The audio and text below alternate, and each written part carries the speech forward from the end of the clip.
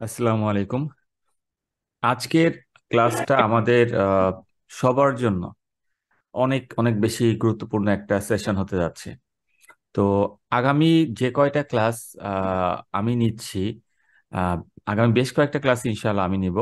So ওই ক্লাসগুলি খুবই গুরুত্বপূর্ণ আপনাদের জন্য। আসলে আমি একটু সহজভাবে আপনাদেরকে কিছু বিষয়ে বোঝাতে চাচ্ছি। আমি আগেই বলেছি, যেহেতু আপনারা এখানে সবাই একেবারেই ফ্রেশার তো আমি চেষ্টা করি সবসময় যেন আপনাদেরকে খুব মানে একদম জিরো লেভেল থেকে বোঝানোর জন্য, যাতে কিনা আপনারা সবাই খুব দ্রুত বিষয়টা ধরতে পারেন বা বুঝতে পারেন। তো আজকের আমি আপনাদের সাথে যে বিষয়টা নিয়ে আলোচনা করব সেটি হচ্ছে অন পেজ অপটিমাইজেশন এখন এসিওর ক্ষেত্রে আপনি যদি মনে করেন যে এসিও হচ্ছে জাস্ট একটা কাজ মানে র্যান্ডমলি যে কোনো একটা কাজ করলাম আমি সেটা একটা আউটপুট আসবে, এরকম কিছু না। এসিওটা আপনি একেবারে যদি চিন্তা করেন এটা হচ্ছে কেউ ওই যে বাচ্চারা কি বলে এটাকে লোগো গেম খেলে নাকি কি বলে লেগু বলে কি একটা বলে না ওইটাকে? দেখছেন ওই যে মানে একটা একটা করে সাজিয়ে সুন্দর করে একটা ই তৈরি করে। লেগোই স্যার। আচ্ছা বলো স্যার পাজেলগুলো মিলাই আর কি। আচ্ছা আচ্ছা। পাজেল টাইপের। তো এই যে লেগোটাকে একটা একটা করে করার পরে কিন্তু দেখেন যে কোনো একটাও যদি অন্যভাবে বা একটাও যদি এদিক সেদিক হয়ে যায়, পুরোটা কিন্তু নষ্ট হয়ে যায়। সো এসিওর এই কাজটাও না অনেকটা এই টাইপের। অর্থাৎ এখানে স্টেপ বাই স্টেপ কাজ। আপনি যদি কোনো একটা কাজ ভুল করেন, ওইটার জন্য আবার আপনার পুরো প্রজেক্টটাই নষ্ট হয়ে যাবে। সো আমি একেবারে এভাবে করে যদি বলি যে এসিওর ক্ষেত্রে আমি তাহলে যদি পার্ট পার্ট করি, যে কাজের ভাগ করা, কোনটাকে আমি কেমন প্রায়োরিটি দিব, সেটাকে যদি বলি এক কথায় সবাইকেই প্রায়োরিটি আমাকে দিতে হবে। কিন্তু এই যে প্রায়োরিটি লিস্টটা থাকবে, এটাকে আমরা যদি হান্ড্রেডের মধ্যে ডিভাইড করি, যে আমি এসিওর জন্য আমি এটাকে হান্ড্রেডের মধ্যে ভাগ করছি, এই হান্ড্রেডের মধ্যে আপনি কোনটাকে কত পার্সেন্ট করে দিবেন বা কোনটাকে কত করে রাখবেন, সেই ক্ষেত্রে আপনি চিন্তা করতে পারেন, এটা আবার ডিপেন্ড করে প্রজেক্ট ওয়াইজ অর্থাৎ এক এক টাইপের প্রজেক্টের জন্য এক এক ধরনের। অর্থাৎ লোকাল বিজনেসের জন্য এক এক টাইপের আবার আমরা যেটা সেদিন আলোচনা করেছিলাম ব্লগ নিয়ে বা অ্যাফিলিয়েট নিয়ে, এটার জন্য আবার এক এক টাইপের। তো এই জায়গাটাতে আমি এভাবে করে যদি জাস্ট পার্টগুলির নাম বলি ফার্স্ট পার্টটা হচ্ছে আমরা যেটা বলি যে ওয়েবসাইট অ্যানালাইসিস অথবা কম্পিটিটর অ্যানালাইসিস বা কম্পিটিশন এটাকে হচ্ছে যে আপনার চেক করা বা বিজনেস অ্যানালাইসিস করা বা বিজনেস অপরচুনিটি গুলো খুঁজে বের করা। এটা হচ্ছে ফার্স্ট পার্টের কাজ থাকে। সেকেন্ড হচ্ছে কিওয়ার্ড রিসার্চ এটা হচ্ছে আমাদের সেকেন্ড পার্টের কাজ থাকে। কিওয়ার্ড রিসার্চ থার্ড হচ্ছে কি আমাদের অন পেজ অপটিমাইজেশন এখন অন পেজ অপটিমাইজেশনের মধ্যে আবার এর সাথেই যুক্ত হয়ে যায় কন্টেন্ট অন পেজের সাথেই আমাদের কন্টেন্ট পার্ট যুক্ত হয়। এবং কন্টেন্ট মানে শুধু টেক্সট কন্টেন্ট বিষয়টা এরকম না। কন্টেন্ট মানে এখানে টেক্সট কন্টেন্টও হতে পারে রিটেন মানে আপনার ইমেজ কন্টেন্ট হতে পারে ভিডিও কন্টেন্ট হতে পারে যে কোনো প্রকারের কন্টেন্ট হতে পারে। আচ্ছা। এর পরের পার্টটা হচ্ছে technical SEO part so on page এসিওটা complete করেই আমরা টেকনিক্যাল এসিও পার্টটাতে কাজ শুরু করি। এর পরের পার্টটা হচ্ছে অফ পেজ মার্কেটিং বা আমরা যেটাকে বলি ব্যাকলিং করা। সো এর পরের যদি বলেন আর কিছু আছে কিনা হ্যাঁ আরও কিছু আছে। সেটা হচ্ছে কি আপনার এই যে ওয়েবসাইটটাকে মেক করলেন সব কিছু করলেন। এবার হচ্ছে কি আমরা র্যাঙ্ক ট্র্যাকিং করি বা ওয়েবসাইটকে অ্যানালাইসিস করতে থাকি একটা নির্দিষ্ট সময় পর পর। যে আসলে আমি যে কাজগুলি করলাম স্ট্র্যাটেজিটা মেক করলাম, ভালো হলো না মন্দ হলো? এই জিনিসগুলো বোঝার জন্য। সো এখন এই যে পুরো সিনারিওটা বললাম, এই সিনারিওটা যেভাবে পার্ট বাই পার্ট করলাম, আমাদের কাজ করার সময় ঠিক একইভাবে পার্ট বাই পার্ট নিয়ে কাজ করতে হয়। তো এইখানে আপনারা এখন পর্যন্ত লক্ষ্য করে দেখুন, আমার মতে আমরা মনে হয় সাত আটটা ক্লাসের হয়ে গেছে, তাই না? সাত আটটা ক্লাস আমাদের হয়ে গেছে। এর মধ্যে কিন্তু আমরা শুধুমাত্র কিওয়ার্ড রিসার্চ নিয়ে কথা বলেছি এবং বেসিক এসিও জাস্ট আপনাদের বোঝানো সার্চ রেজাল্ট পেজটা বোঝানো বা এই বিষয়ে কথা বলেছি। তো এখনও কিন্তু আমাদের দেখেন বাকি সবগুলা পার্ট পড়ে আছে। তো এখন আপনারা যদি কেউ ফিল করেন যে, ভাই কিওয়ার্ড রিসার্চ করতে গিয়ে দম বের হয়ে গেছে, আমার তো অবস্থা খারাপ হয়ে গেছে, তো তাহলে সামনের পার্ট গুলোতে কিন্তু তাহলে আরও আমাদের অনেক কিছু বাকি আছে। এটা মনে করেন না জার্নি আমাদের শেষ হ্যাঁ? জার্নি কেবল শুরু হয়েছে আমাদের। আচ্ছা তো আমরা আজকে অন পেজ অপটিমাইজেশন এটা নিয়ে কথা বলব। এখন কথা হচ্ছে অন পেজ অপটিমাইজেশনটা মূলত কি? বা অন পেজ এসিও আমরা যে বলি, এটা আসলে মূলত কি? অন পেজ অপটিমাইজেশন বা অন পেজ এসিও হচ্ছে গিয়ে আপনি আপনার ওয়েবসাইটের মধ্যে, আপনার ওয়েবসাইটের ভিতরে হ্যাঁ? এখন ওয়েবসাইট কীভাবে হয় আমরা কিন্তু আলোচনা করেছিলাম যে একটা ডোমেইন একটা হোস্টিং দুটো আমাদের আলাদা জিনিস। ডোমেইন এবং হোস্টিংকে এক করতে হয়। অর্থাৎ আপনি একটা বাড়ির জন্য একটা বাসা তৈরি করতে চাচ্ছেন, আপনাকে প্রথমে কি করতে হবে? ভাই, আমাকে একটা জমি কিনতে হবে। আমার কতটুকু স্পেস দরকার? আমি মনে করেন আমি বলে, আমি বললাম যে আমি, ঠিক আছে, তিন কাঠা জায়গা কিনলাম। এই তিন কাঠা জায়গার উপরে এবার হচ্ছে গিয়ে আপনি আপনার বাসা তৈরি করবেন। এখন ওই বাসার তৈরি যখন হয় তখন আমরা একটা দেখছেন যে সাইনবোর্ড দিয়ে দেয় নেম প্লেট বলি আমরা অনেক সময় বাসায়। ওই নেম প্লেটটা হচ্ছে ডোমেইন আর ওই যে স্পেসটা ওই তিন কাঠা জমিটা হচ্ছে হোস্টিং সো এবার কথা হচ্ছে বাসা বানানোর জন্য আপনি ওই তিন কাঠা জমির উপরে যা কাজ করবেন, যা কাজ করবেন ইট এনে রাখছেন, বালু এনে রাখছেন সব কিছু অন পেজের কাজ। বিষয়টা সহজভাবে বুঝেন, তাহলে আর ঝামেলা হবে না। তার মানে আমি প্রথমে কি করলাম, আমি একটা জমি কিনছি হোস্টিং কিনছি। হোস্টিং এর উপরে আমার একটা ডোমেইন আছে, নাম আছে, এই বাড়ির নাম এটা। এইবার ওই জায়গাটার মধ্যে বাসা তৈরি করার জন্য, আমি যে বাড়ি বানাবো, বাড়ি তৈরি করার জন্য আমি যা কিছু করব, সবকিছুই কিসের কাজ? অন পেজ অপটিমাইজেশনের কাজ। ক্লিয়ার এবার আসেন ওয়েবসাইটের ক্ষেত্রে তাহলে আমি এটাকে যদি আমি অনলাইন ফর্মে ট্রান্সফার করি, সেক্ষেত্রে কি হচ্ছে?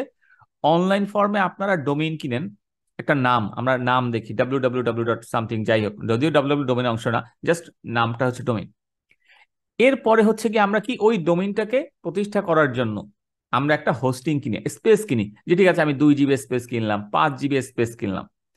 তো এরপরে কি হচ্ছে? এরপরে হলো গিয়ে আমরা ওই হোস্টিং এর উপরে বাসা বানানো তৈরি মানে বাসা বানানো শুরু করি, যেটা বলি ওয়েবসাইট বিল্ড করা শুরু করি। এখন এই ওয়েবসাইট বিল্ড করতে যে আমরা ওই হোস্টিং এর উপরে যা কাজ করি, সবকিছু কিসের কাজ? অন পেজের কাজ। এবার আসেন কি কাজ করতে পারি? আমরা এখানে মনে করেন আমাদের কোন সিএমএস ওয়েবসাইটটা তৈরি হবে, এটা হতে পারে ওয়ার্ড প্লেস হতে পারে শপিফাই দিয়ে, যেটাই হোক, সেটাকে প্রথমে এখানে ইনস্টল করতে হয়। এটা অন পেজের কাজের মধ্যে পড়ে যাচ্ছে আপনার। এরপর ওয়েবসাইটের কন্টেন্ট কি হবে? লোগো কি হবে? ওয়েবসাইটের ছবি কি হবে? ওয়েবসাইটের মধ্যে কোথায় মেনু হবে? ওয়েবসাইটের মধ্যে কোথায় কি হবে? এভরিথিং যা কিছু আপনি করছেন ওয়েবসাইটটা বানানোর জন্য সব কিছু অন পেজের কাজের অন্তর্ভুক্ত। ক্লিয়ার সহজভাবে বিষয়টা বুঝতে পারছেন? তাহলে অন পেজ হচ্ছে আমার ওয়েবসাইটের ভেতরে আমি যা কিছু করব ভাই, সবই অন পেজের কাজ। এখন এই যে যা কিছু করব বললাম, এটাকে সহজ করার জন্য আমরা এটাকে এবার ভাঙবো। যে ঠিক আছে, কি কি কাজ করি আমরা সাধারণত? কাজগুলোকে ভেঙে ভেঙে আমরা এই কাজগুলি করার নিয়ম জানব। যেমন একটা বাড়ি যখন তৈরি করা হয়, একটু খেয়াল করে দেখেন, একটা বাসা তৈরি করার সময় দরজার একটা নির্দিষ্ট মাপ আছে কিন্তু। দরজা কিন্তু যেমন খুশি তেমন, ভাই, আমি তো খুব বেশি লম্বা, আমার জন্য কাজ করো, দুই ফিট বড় করে দাও। এটা কি কখনো করা হয়? একটা নির্দিষ্ট মাপ আছে না, যে সবার জন্য একটা সাইজ স্ট্যান্ডার্ড সাইজ যেটাকে বলি আমরা জানালারও কিন্তু একটা এরকম মাপ আছে, ফ্রেমের মাপ থাকে। রুম আপনি চাইলেই আপনার মতো একটা রুমকে বিশাল বড় করলেন, একটা রুমকে ছোট করে ফেললেন, এটা কিন্তু আপনার ইচ্ছা, চাইলে করতে পারেন, বাট স্ট্যান্ডার্ড কিন্তু সবকিছু মাপ আছে, যেমন লিভিং রুম মিনিমাম কতটুকু হওয়া উচিত বেডরুম মিনিমাম কতটুকু হওয়া উচিত, তাই না? সো ওয়েবসাইটের ক্ষেত্রেও এরকম নিয়ম আছে। তো আজকের থেকে আপনাদেরকে এই নিয়মগুলো মুখস্থ করতে হবে, এক কথায়। এখন যদি বলেন, কেন মুখস্থ করব? এটা তো চেঞ্জ হতে পারে নিয়ম। কিছু নিয়ম আছে, থাম রুল বলি আমরা এটাকে। ভাই, এটা ফিক্স মোটামুটি থাকে।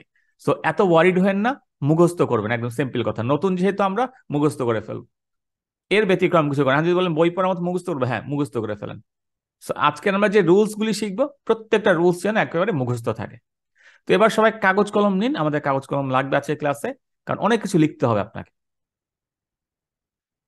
ফার্স্ট যে বিষয়টা, সেটা হচ্ছে অন পেজের মধ্যে তাহলে আমরা কি কি কাজ করব? এবার সেই আগে পয়েন্ট আউট করেন। অন পেজে কি কি কাজ আমরা করব? প্রথম কাজ অন পেজের আমার ফার্স্ট কাজ হচ্ছে টাইটেল বা টাইটেল ট্যাগ যা লিখেন একই কথা। টাইটেল অথবা টাইটেল ট্যাগ সেকেন্ড মেটা বা meta tag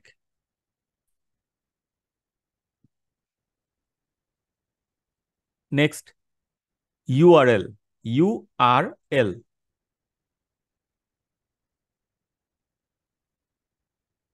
next heading বা heading tag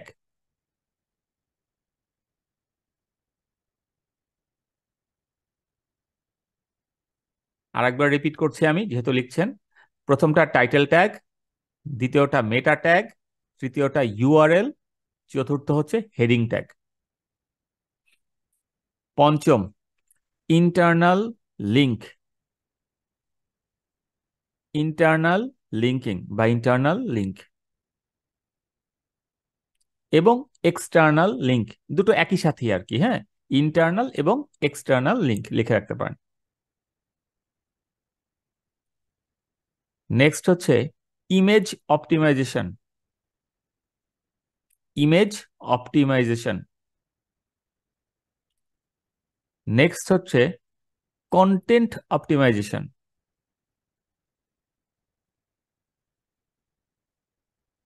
content optimization next হচ্ছে কিওয়ার্ড প্লেসমেন্ট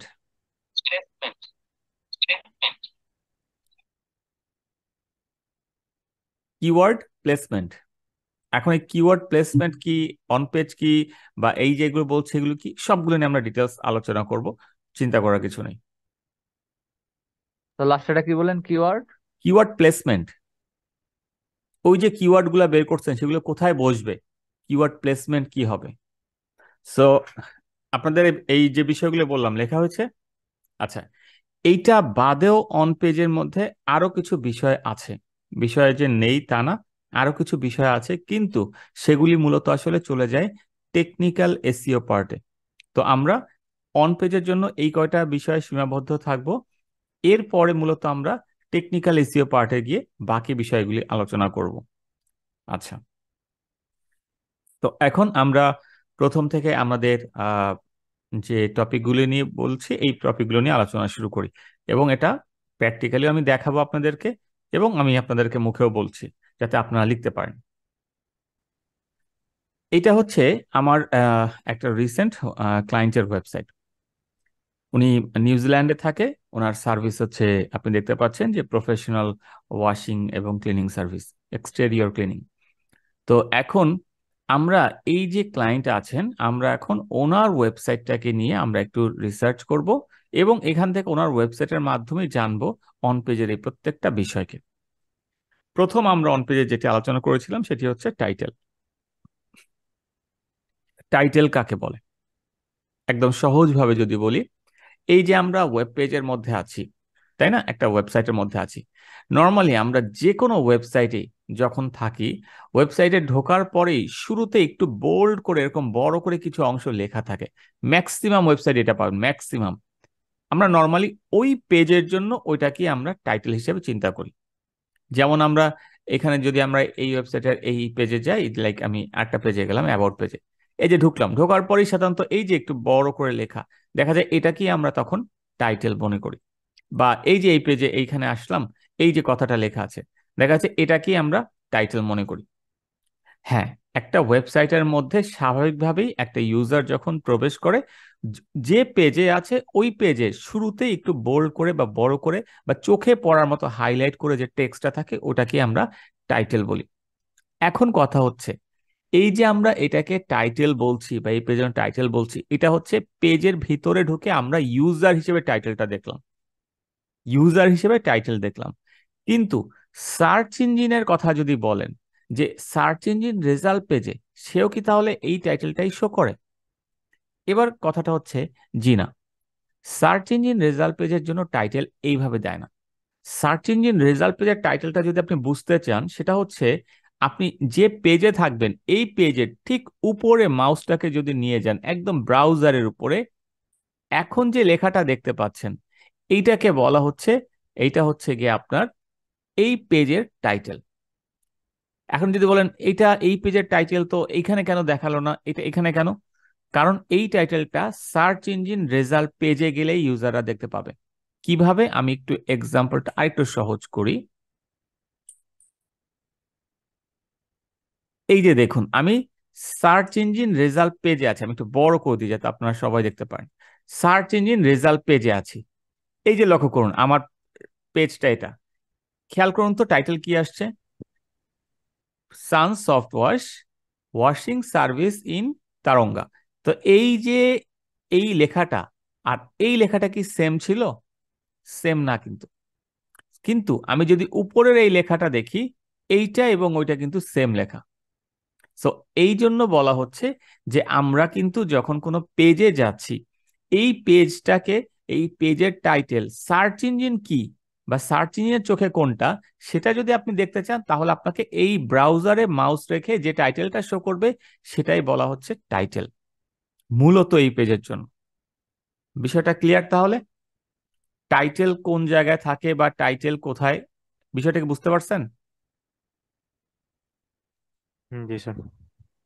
আচ্ছা এখন আরেকটা ভাবেও এইখানে চাইলে আপনি এটা দেখতে পারেন। মানে আরও কয়েক ভাবে দেখা যায়। তার মধ্যে একটা ওয়ে হচ্ছে আপনি চাইলে সরাসরি কোডের মধ্যে যে দেখতে পারেন। যেমন আমি যদি এই পেজের কোডিং এ যাই, যদিও এটা একটু ডিফিকাল্ট পার্ট বাট তারপরে জাস্ট শিখে রাখেন। আমি যে কোনো জায়গায় মাউস নিয়ে রাইট ক্লিক করলাম, এই যে ফাঁকা জায়গা আর কি রাইট ক্লিক করলাম যে ভিউ পেজ সোর্স আমি যদি ভিউ পেজ সোর্সে যাই, এই যে ভিউ পেজ সোর্সে আমি আসলাম, এই ভিউ পেজ সোর্সে আসার পরে এইখানে আমি যদি, মনে করেন আমি এখানে লিখলাম কন্ট্রোল এফ ফাইন্ড দিলাম।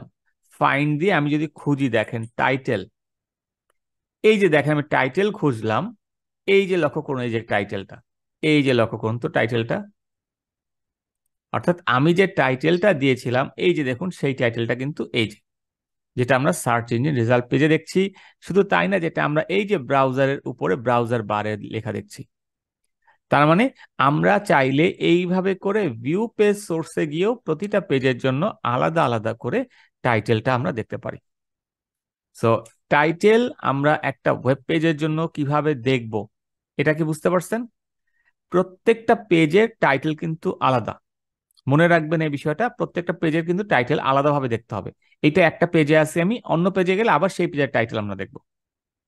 তো এই যে টাইটেলটা দেখলাম, এই টাইটেল লেখার কিছু নিয়ম আছে। এখন আমি সেই নিয়মটা আপনাকে বলছি। নিয়মটা ভালোভাবে লিখে রাখুন। সো টাইটেল লেখার ফার্স্ট রুলস টাইটেল যখন আপনি লিখবেন টাইটেল একটা নির্দিষ্ট ক্যারেক্টার লিমিটেশনের মধ্যে থাকতে হয়। এখন গুগল বলে এই ক্যারেক্টার লিমিটেশনটা সেভেন্টি ক্যারেক্টার পর্যন্ত আপনি চাইলে দিতে পারবেন বা এরকম আপনি ক্যারেক্টার দিতে পারবেন। কিন্তু বাস্তবতা দেখা যায় যে আমরা সেভেন্টি ক্যারেক্টার পর্যন্ত যদি লিখি, এটা অনেক বড় হয়ে যায়। পুরো টাইটেল শো করে না। সো এই কারণে আমাদের প্র্যাকটিস থাকবে, আমরা আমাদের টাইটেলটাকে চেষ্টা করব পঞ্চান্ন থেকে ষাট ক্যারেক্টারের মধ্যে লেখার জন্য। তার মানে আমাদের ওয়েব পেজের যে টাইটেলটা আমরা তৈরি করব, এই টাইটেলটা পঞ্চান্ন থেকে ষাট ক্যারেক্টারের মধ্যে তৈরি করব। আমি আবারও বলছি ক্যারেক্টার ওয়ার্ড না। আর ক্যারেক্টার বলতে গেলে একটা স্পেস যদি দেয় আমি স্পেসটাকেও ক্যারেক্টার কাউন্ট করা হয় কিন্তু। ঠিক আছে? সো আমরা তার মানে একটা টাইটেলকে পঞ্চান্ন থেকে ষাট ক্যারেক্টারের মধ্যে তৈরি করব। আচ্ছা। টাইটেল আমরা যখন তৈরি করব টাইটেল তৈরি করার জন্য আমাদেরকে অবশ্যই চিন্তা করতে হবে, এই টাইটেলের প্রধান কিওয়ার্ড বা প্রাইমারি কিওয়ার্ড কি হবে? আমরা যখন টাইটেল তৈরি করব, খেয়াল করে দেখেন, আমরা যখন কিওয়ার্ড রিসার্চ করেছিলাম, মনে আছে আমরা প্রাইমারি কিওয়ার্ড বের করতাম? ওই প্রাইমারি কিওয়ার্ডটা টাইটেলের মধ্যে বসানো উচিত। এখন কথা হচ্ছে আমরা তো যখন কিওয়ার্ড রিসার্চ করেছি নর্মালি প্রতিটা পেজের জন্য কিন্তু আলাদা আলাদা কিওয়ার্ড রিসার্চ হবে। প্রতিটা পেজের জন্য কিন্তু সেম কিওয়ার্ড না, যে একবার বের করছি, আমার সব পেজের সেম কিওয়ার্ড জি না। কিওয়ার্ড আলাদা আলাদা থাকে। সো আমি তাহলে আমার যে পেজটাকে টার্গেট করছি, ওই পেজের জন্য কিওয়ার্ড কি হবে? ওই প্রাইমারি কিওয়ার্ডটাকে আমাকে টাইটেলের মধ্যে বসাতে হবে। তিন নম্বর রুলস হচ্ছে এই টাইটেলের মধ্যে যখন আপনি প্রাইমারি কিওয়ার্ডটা বসাবেন, চেষ্টা করবেন যদি সম্ভব হয় সামনের দিকে টাইটেলের সামনের দিকে, শুরুতে স্টার্টিংয়ে বসানোর জন্য। যদি সম্ভব হয় বাট ফোর্সফুলি না, অর্থাৎ আমার প্রথম দিকে রাখলে টাইটেলের মিনিং নষ্ট হয়ে যাচ্ছে, তাহলে দরকার নেই। আপনি মাঝের দিকে রাখেন বা শেষের দিকে রাখেন, কোনো সমস্যা নেই। এটা আপনার উপর ডিপেন্ড করে। আচ্ছা তো তাহলে আমরা যখন টাইটেল তৈরি করব টাইটেল তৈরি করার সময় আমাদেরকে মনে রাখতে হবে, আমাদের টাইটেলের প্রাইমারি কিওয়ার্ড যেটা, সেটা টাইটেলের মধ্যেই রাখব এবং আমাদের টাইটেলটার মধ্যে কিওয়ার্ডটাকে যদি সম্ভব হয় সামনের দিকে প্লেস করার চেষ্টা করব, যদি পারি। আর না পারলে নাই, দরকার নেই। আচ্ছা। নেক্সট রুলস হচ্ছে টাইটেলের মধ্যে আমরা চাইলে সেপারেটর ব্যবহার করতে পারি। এখন কথা হচ্ছে, আমি এই যে বললাম টাইটেলের মধ্যে আমরা চাইলে সেপারেটর ব্যবহার করতে পারি। আসলে সেপারেটরটা কি? এই যে সার্চ ইঞ্জিন রেজাল্ট পেজে আমি এখন আছি। এখন এইখানে এই যে টাইটেলটা দেখছেন, এই যে টাইটেলটা দেখছেন, এই টাইটেলের মধ্যে এই যে মাঝখানে একটা ড্যাশ দেয়া, এটাকে বলা হয় সেপারেটর এই যে এখানে দেখছেন কন্ট্যাক্ট পেজ এই যে দেখছেন অ্যাবাউটের এখানে একটা ড্যাশ দেয়া, এইটাকে বলা হয় সেপারেটর ঠিক আছে? তার মানে আমরা এটা দেখলাম সেপারেটরটা কি? সেপারেটর হচ্ছে একটা টাইটেলকে যদি দুইটা পার্টে ভাগ করি আমি, মাঝখানে যে অংশটা আমি ব্যবহার করছি, সেটাকে বলা হচ্ছে সেপারেটর এখন এই সেপারেটর ব্যবহার করার জন্য ভালো কোনটা? কি ব্যবহার করলে ভালো হয়? সেপারেটর ব্যবহার করার ক্ষেত্রে ড্যাশ অথবা পাইপ ড্যাশ অথবা পাইপ সাইন ব্যবহার করতে পারেন। এখন কথা হচ্ছে আমরা যদি বলি যেটা বললাম যে ড্যাশ বা পাইপ সাইনটা কি আসলে? যেমন এই ড্যাশ বলছি এটাকে, যেটাকে মাইনাস বলেন, আর পাইপ হচ্ছে এই সাইনটা এই যে লম্বা একটা এল এর মতো বাট এল এর থেকে বড়। এই সাইনটাকে বলা হয় পাইপ সো ড্যাশ অথবা পাইপ এই দুটোর একটা আমরা সেপারেটর হিসেবে ব্যবহার করব। নেক্সট যেটা, সেটা হচ্ছে আমরা যখন এই টাইটেলটা তৈরি করব টাইটেলকে আরও বেশি আকর্ষণীয় করার জন্য আমরা চাইলে টাইটেলের মধ্যে কিছু পাওয়ার ওয়ার্ডের ব্যবহার করতে পারি। আমি আবারও বলছি, টাইটেলকে আরও বেশি আকর্ষণীয় করার জন্য আমরা চাইলে টাইটেলের মধ্যে কিছু পাওয়ার ওয়ার্ডের ব্যবহার করতে পারি। এখন কথা হচ্ছে পাওয়ার ওয়ার্ড কাকে বলে? পাওয়ার ওয়ার্ড হচ্ছে সেই সকল শব্দ যা একটা টাইটেলের ভ্যালু মানুষের কাছে কিছুটা বাড়িয়ে দেয়। যেমন আমি যদি বলি ধরেন আমি বললাম এসিও ট্রেনিং, শুধু এই শব্দটা। এই এসিও ট্রেনিং বলার থেকে আমি যদি বলি, অ্যাডভান্সড এসিও ট্রেনিং বা SEO training step by step বা এসিও ট্রেনিং ফর বিগিনার্স, এই যে শব্দগুলি দেখেন, প্রথম যখন বললাম অ্যাডভান্স এসিও ট্রেনিং, তখন ওই অ্যাডভান্স শব্দটা কিন্তু আপনাদের কাছে ভালো লাগবে। ও আচ্ছা অ্যাডভান্স একটা ট্রেনিং হচ্ছে। স্টেপ বাই স্টেপ যখনই বলব, তখনই এসিও ট্রেনিং এর জায়গায় এসিও ট্রেনিং এ আছে, কিন্তু যখনই বললাম স্টেপ বাই স্টেপ তখনই আপনার মনে হবে আচ্ছা এটা মনে হয় খুব সহজ হয়ে শেখাবে স্টেপ বাই স্টেপ সবকিছু দেখাবে। সো এই যে এক্সট্রা শব্দগুলি ব্যবহার করা হয়, এগুলোকে মূলত বলা হয় পাওয়ার ওয়ার্ড আপনি যদি পাওয়ার ওয়ার্ড লিস্ট লিখে গুগলে সার্চ করেন, এরকম হাজারটা শব্দ পাবেন। এখন কথা হচ্ছে, এগুলোকে সব মুখস্থ করতে হবে। না ভাই, মুখস্থ করা সম্ভব না। জাস্ট ব্রেনে রাখেন যে টাইটেলকে বেশি আকর্ষণীয় করার জন্য আমরা এই ধরনের পাওয়ার ওয়ার্ডের ব্যবহার চাইলে করতে পারি। এইটাই মাথায় রাখলেই হবে। আচ্ছা এবার আসেন টাইটেলকে আকর্ষণীয় করার জন্য আমরা চাইলে টাইটেলের মধ্যে নাম্বার ব্যবহার করতে পারি। নাম্বার এখন তো নাম্বার কোন কাজে আসে? যেমন ধরেন আমি যদি বলি সব ক্ষেত্রে নাম্বার আসবে বিষয়টা এরকম না। ধরুন আমি একটা ল্যাপটপ সেল করছি ল্যাপটপ সেল করি গেমিং ল্যাপটপ সেল করি ধরেন। সো আমি এখন আমার টাইটেল মানে টাইটেল যেটা আছে টাইটেলটাকে যদি এইভাবে তৈরি করি, যে HP gaming laptop in two thousand twenty three এইটা দ্বারাই যে in two thousand twenty three দিলাম, এর মানে বোঝাচ্ছে আমি লেটেস্ট এইচপির লেটেস্ট গেমিং ল্যাপটপগুলি নিয়ে আমি আলোচনা করছি। এই টু থাউজেন্ড টোয়েন্টি থ্রি দ্বারা আমি এটাকে মিন করছি। ঠিক একইভাবে করে আমরা যদি আবার চিন্তা করি এরকম, ধর আমি বললাম যে এসিও কোম্পানি ইন বাংলাদেশ। এই টাইটেলটার আগে যদি আমি এভাবে করি যে top ten SEO company in Bangladesh, এই যে টেন শব্দটা আনলাম, এই টেন এই নাম্বারটা কিন্তু মানুষ পছন্দ করে। সো বিষয়টা হচ্ছে চিন্তা করেন নাম্বারের ব্যবহারটা, যে আমি চাইলে সাল, টাইটেলের মধ্যে সাল ব্যবহার করতে পারি, টাইটেলের মধ্যে নাম্বার ব্যবহার করতে পারি, যেটা মানুষকে এক্সট্রা একটা আকর্ষণ দেয়। সো এই জিনিসটা সব টাইটেলের ক্ষেত্রে হবে না। এটা কিছু কিছু টাইটেলের জন্য আলাদা আলাদা ভাবে হয়। আপনি যেখানে খুশি সেখানে ইয়ার যেখানে খুশি সেখানে আপনি নাম্বার অ্যাড করতে পারবেন না। অবশ্যই মিনিংফুল রেখে তারপরে ব্যবহার করতে হবে। বাট এটা একটা ওয়ে টাইটেলকে আকর্ষণীয় করার জন্য এই কারণে বলা। আচ্ছা এরপরে হচ্ছে আমরা যখন টাইটেল তৈরি করব, আমাদের টাইটেল অবশ্যই অবশ্যই ইউনিক হতে হবে অন্যান্য পেজের সাথে যেন টাইটেল ম্যাচ না করে। এবার আসেন, এই কথাটা আসলে আমার টাইটেল তো বাইরের যে কোনো একটা ওয়েবসাইট সেও তার ব্যবহার করতে পারে। এটা পারে, এতে সমস্যা নেই। সমস্যা হচ্ছে, এই যে আপনার ওয়েবসাইট আমি একটু আগে বলেছিলাম যে আপনার ওয়েবসাইটের প্রতিটা পেজের টাইটেল কিন্তু আলাদা আলাদা হতে হবে। যেমন ধরুন, আমরা এখানে আছি হচ্ছে আপনার ওয়েবসাইটের কোন পেজে এই যে হোম পেজে এই পেজের টাইটেল যেটা আমি এখন ধরুন অ্যাবাউট পেজে গেলাম। দেখুন তো অ্যাবাউট পেজের টাইটেল কি এক? অ্যাবাউট পেজের টাইটেল একরকম হোম পেজের টাইটেল একরকম। এই যে ভিন্ন।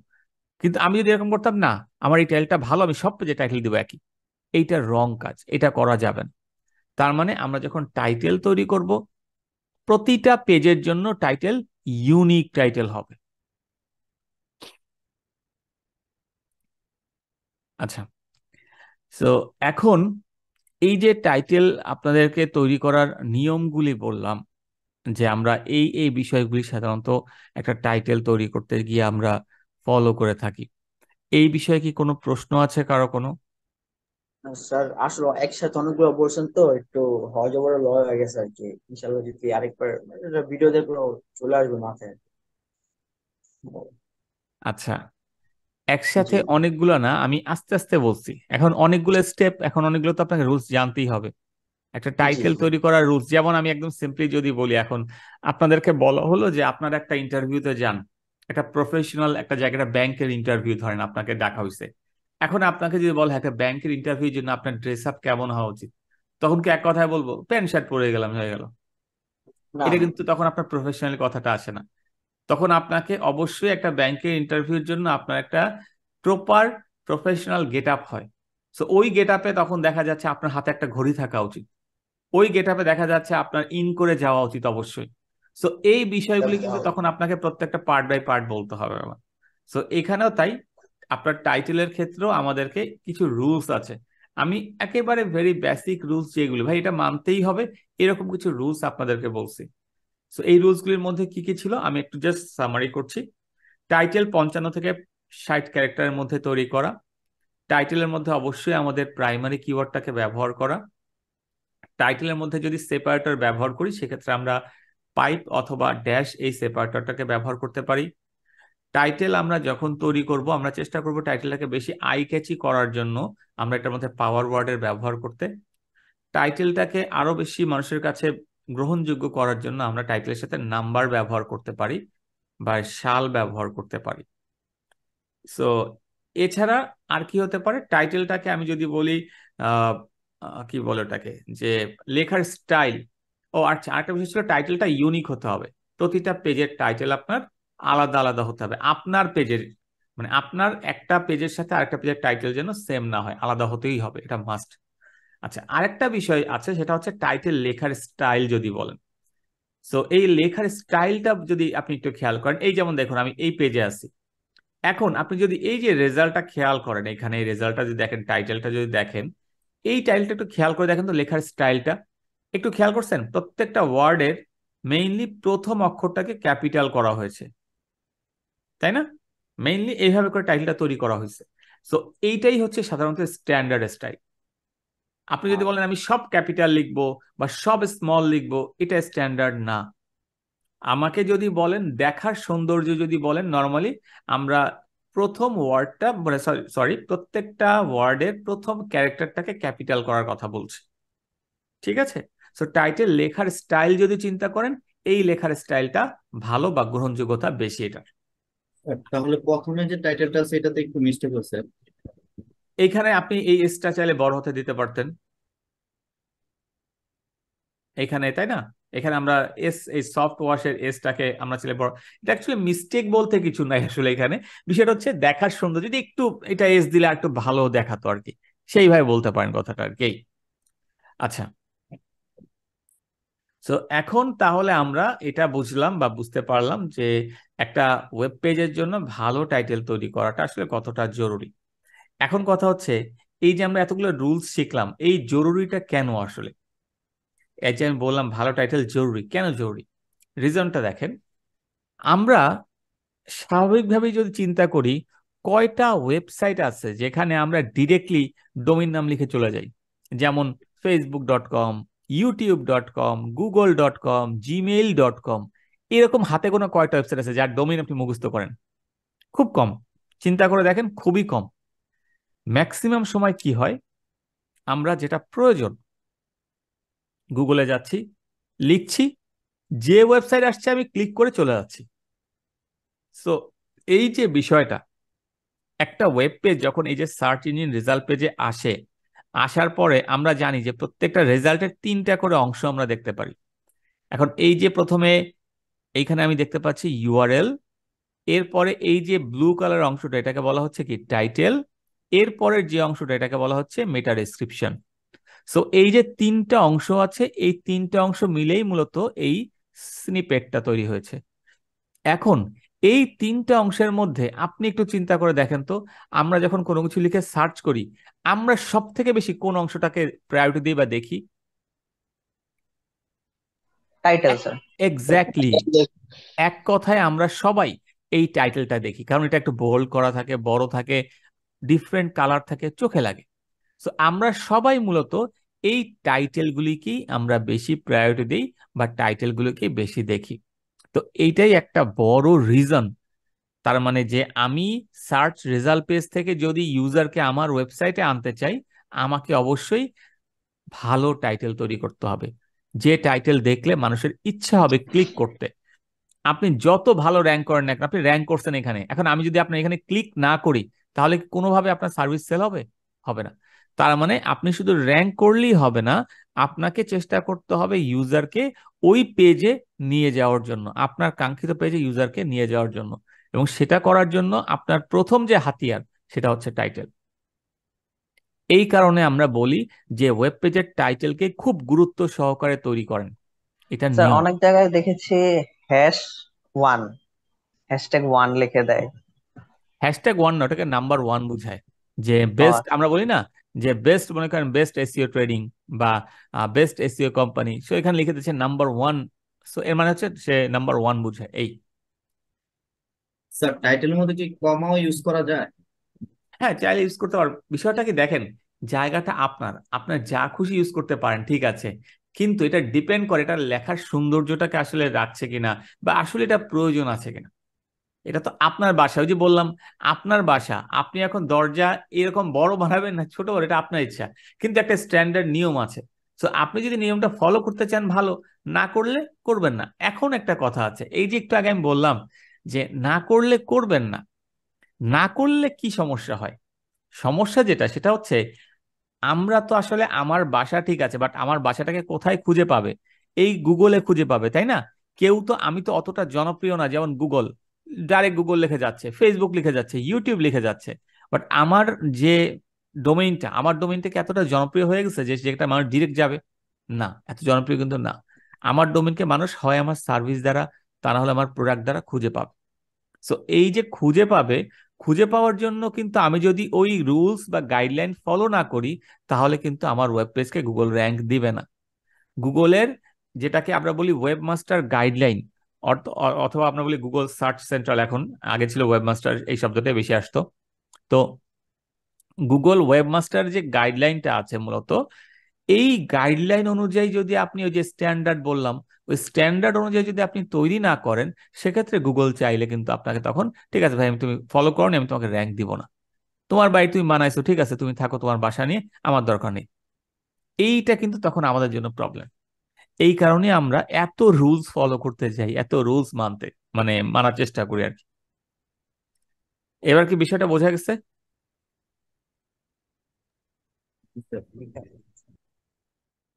সো টাইটেল অপটিমাইজেশন বা টাইটেল ট্যাগ এটা লেখার নিয়মগুলি কি? এটা নিয়ে কি আর কারও কোনো প্রশ্ন আছে মনের মধ্যে?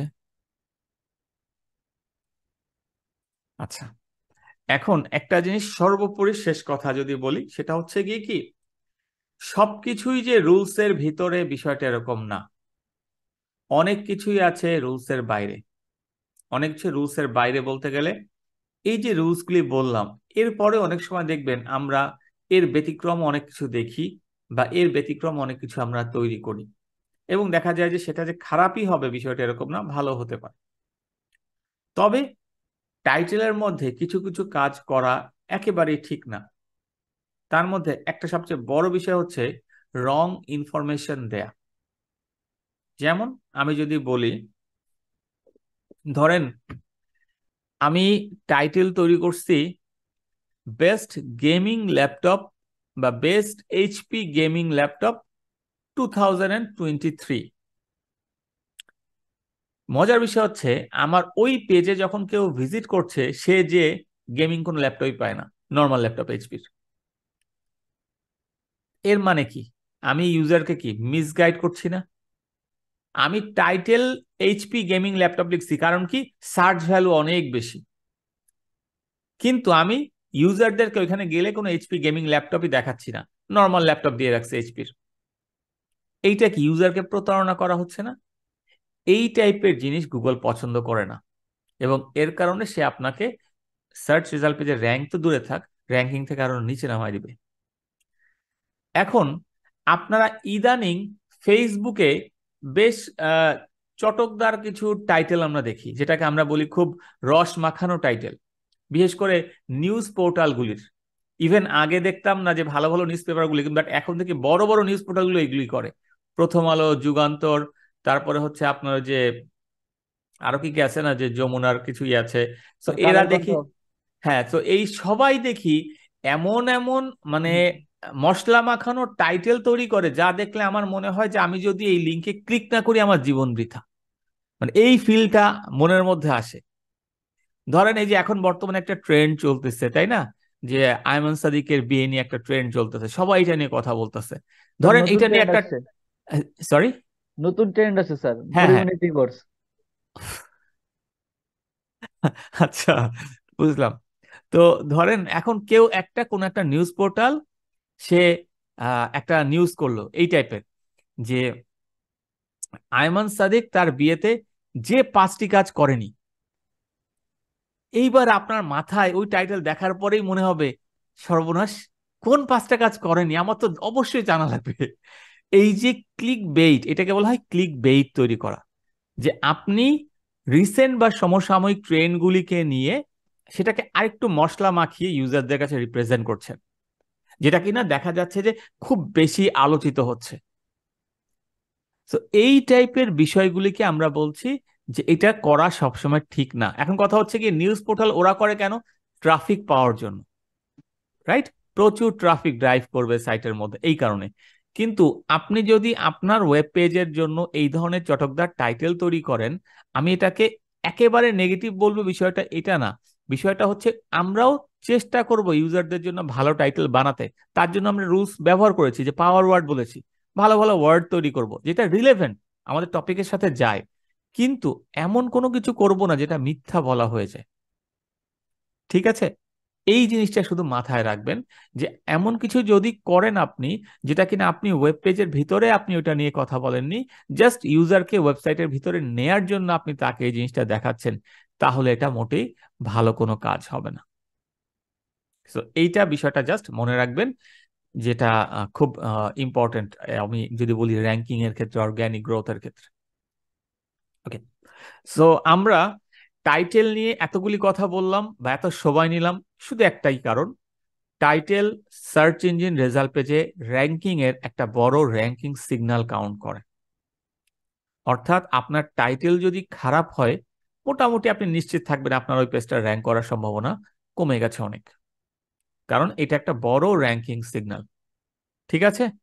সো আমরা আমাদের টাইটেলগুলি যখন তৈরি করব, এখন বলতে পারেন যে টাইটেলের এত গুরুত্ব, এটা তো তৈরি করা সহজ। আমরা এ তো বুঝেই গেলাম। হ্যাঁ সহজ তৈরি করা অবশ্যই। কিন্তু এই সহজের মধ্যেও কিছু না আছে না যে একটু আলাদাভাবে রিপ্রেজেন্ট করা, একটু ভালোভাবে রিপ্রেজেন্ট করা, এই জিনিসটি আপনারা চেষ্টা করবেন। ওকে আমরা তাহলে আমাদের নেক্সট টপিকে চলে যাচ্ছি। আমাদের নেক্সট টপিক হচ্ছে, আমরা টাইটেলের পরে যেটা জেনেছিলাম সেটা হচ্ছে ডেসক্রিপশন বা মেটা ট্যাগ রাইট এখন আসেন মেটা ট্যাগ কি বা মেটা ডেসক্রিপশন ট্যাগ কি? মেটা ডেসক্রিপশন ট্যাগ হচ্ছে সার্চ ইঞ্জিন রেজাল্ট পেজে আপনি কোনো একটা রেজাল্টের টাইটেলের পরে যে দুই লাইনের ছোট্ট একটা ডেসক্রিপশন দেখতে পান, এই ছোট্ট ডেসক্রিপশনটাকেই বলা হয়? মেটা ট্যাগ বা মেটা ডেসক্রিপশন ট্যাগ আমি আবারও বলছি, আপনি সার্চ ইঞ্জিন রেজাল্ট পেজে এই যে একটা টাইটেলের পরে যে দুইটা লাইনের লেখা দেখতে পান, এই লেখাটাকেই বলা হচ্ছে মেটা ডেসক্রিপশন ঠিক একইভাবে এই যে উপরে যে টাইটেলটা নিয়ে এতক্ষণ আলোচনা করলাম সার্চ ইঞ্জিন রেজাল্ট পেজের এই টাইটেলটাকে আবার মেটা টাইটেলই মানে মেটা টাইটেলও বলে। সো আপনাকে যদি কেউ বলে টাইটেল বা মেটা টাইটেল এটা ওয়ারিড হবেন না দুটাই কিন্তু সেম এখানে এইটাকেই বলা হচ্ছে মেটা টাইটেল আচ্ছা তো তাহলে আমরা কি বুঝলাম?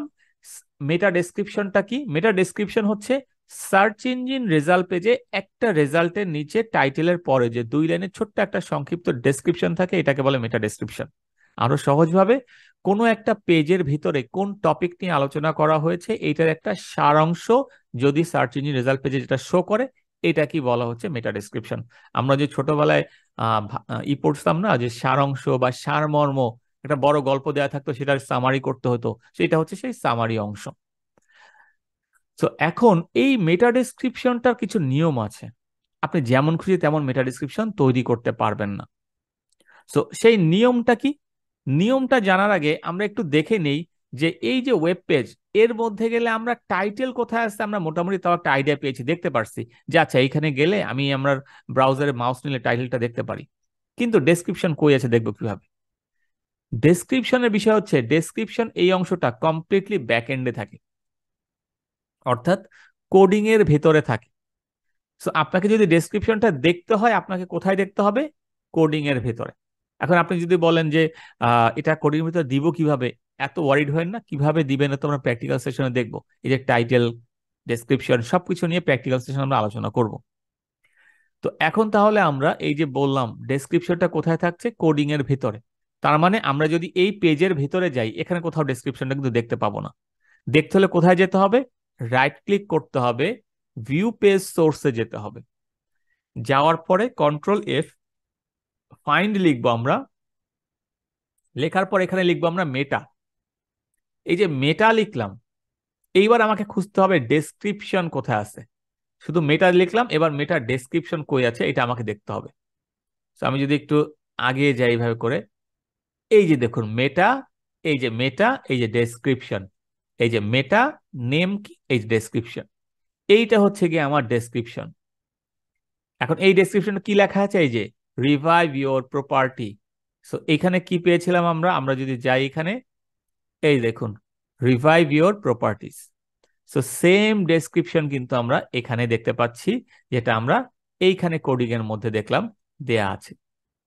সো এইটাকেই বলা হচ্ছে মূলত মেটা ডেসক্রিপশন তাহলে মেটা ডেসক্রিপশনটা কোথায় থাকে? ব্যাক এন্ডে থাকে কোডিং এর মধ্যে। এইটা আপনি ফ্রন্ট এন্ডে পাবেন না। কোথায় পাবেন? একমাত্র সার্চ ইঞ্জিন রেজাল্ট পেজেই মেটা ডেসক্রিপশন পাবেন, আর কোথাও পাবেন না। আচ্ছা তাহলে মেটা ডেসক্রিপশন কি? এটা বুঝতে পারলাম। মেটা ডেসক্রিপশন কীভাবে দেখতে হয় ওয়েব পেজে এটা বুঝতে পারলাম। এখন আসেন মেটা ডেসক্রিপশন লেখার তাহলে নিয়ম কি?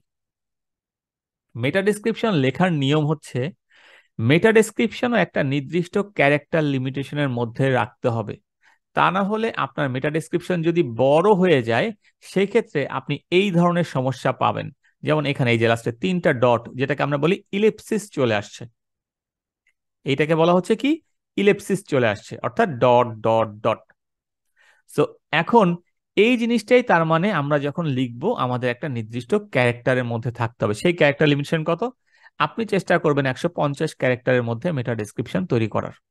আমি আবারও বলছি, আপনি চেষ্টা করবেন একশো পঞ্চাশ ক্যারেক্টার ওয়ার্ড না, একশো পঞ্চাশ ক্যারেক্টারের মধ্যে মেটা ডেসক্রিপশনটা তৈরি করার জন্য। এই ক্ষেত্রে একটা বিষয় মনে রাখবেন, এই ক্ষেত্রে যদি বলেন লেখার কোনো স্টাইল আছে কিনা, না, এক্ষেত্রে নর্মাল যেভাবে লিখেন আপনি সে নর্মাল লেখায় লিখবেন। এক্ষেত্রে কোনো আলাদা প্রত্যেকটা মানে ওয়ার্ডের প্রথম অক্ষর বড় হাতের, এটা করার কোনো দরকার নেই।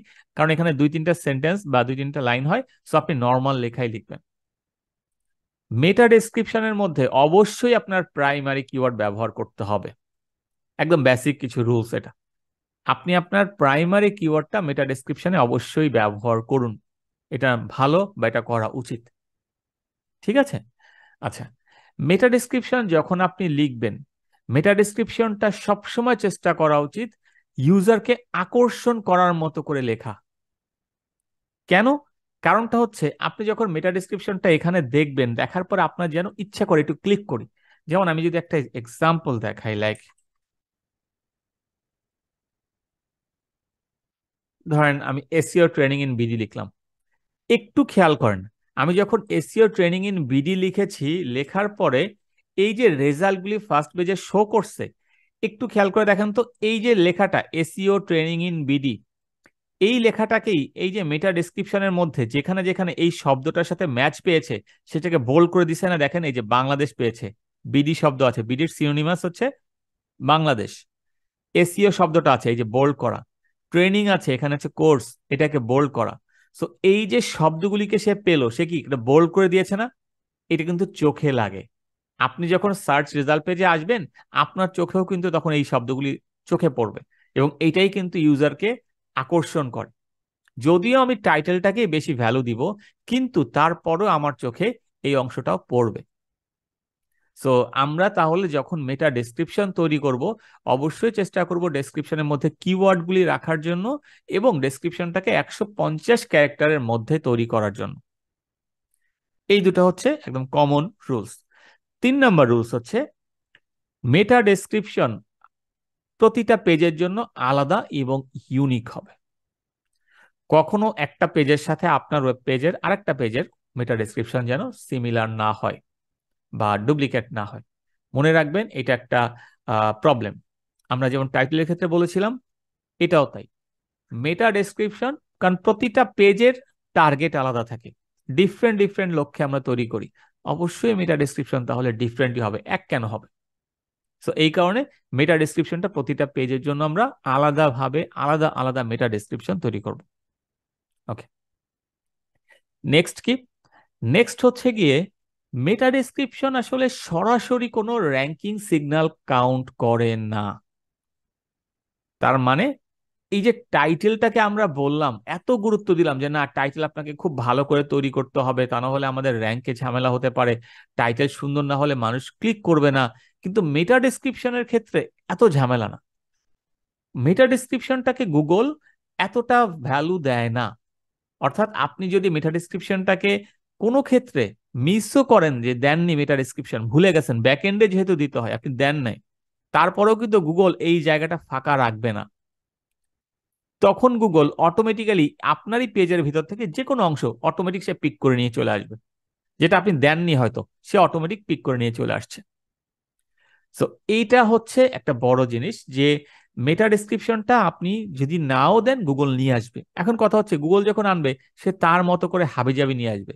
যেমন দেখেন, আমি এই রেজাল্টটা যদি খেয়াল করি যে কন্ট্যাক্ট আস এই পেজের রেজাল্টটা দেখেন গুগল তার মতো করে হাবিজাবি মেটা ডেসক্রিপশন নিয়ে আসছে এখানে। হয়তো এই পেজে মেটা ডেসক্রিপশন দেয়া হয়নি, এই কারণে গুগল তার ইচ্ছা মতো নিয়ে আসছে।